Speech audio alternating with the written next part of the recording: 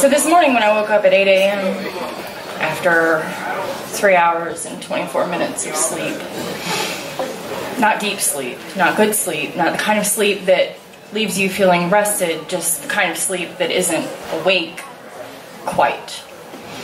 My daughter, she's 16, comes bouncing out of her bed, all happy and bubbly and excited to see me, and her pink hair is going in every direction and looks almost like the mohawk that she wanted to have. Not quite, because, you know, when you're 16, nothing ever really turns out the way that you wanted it to, does it?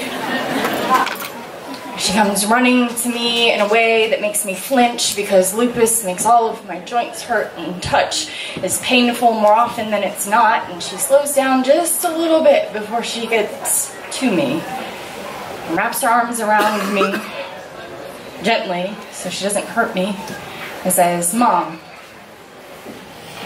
I hope you know that I think you're great. I know my daughter has not always seen me as great. I know that I have been both justified and unjustified, the evil stepmother in her story. I know that she has spoken to her friends and my friends about how awful I can be. This morning, this morning my daughter got up early because she knew I was leaving early and she wanted to know, she wanted me to know that she thinks I'm great. So all day today, because of those words that she spoke to me, I have truly felt great. And at least 20 times today, I've told someone else that they are great. And today, I'm going to tell God knows how many of you that you are great. Because you are great.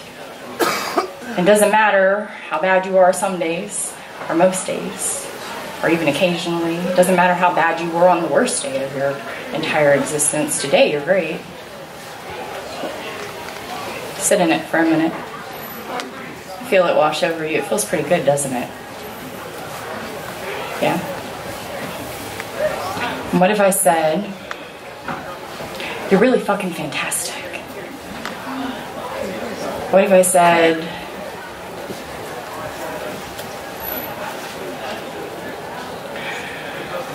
What if I said that you are the greatest thing that has ever happened to somebody?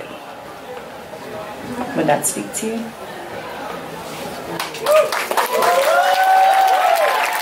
Jessica Queen.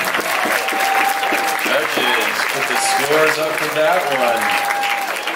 Mm, this is just, I love to do this. This is so much fun. I have such, such a privilege to be here with you all. And uh, turn you, turn you, there you go. Thank you very much.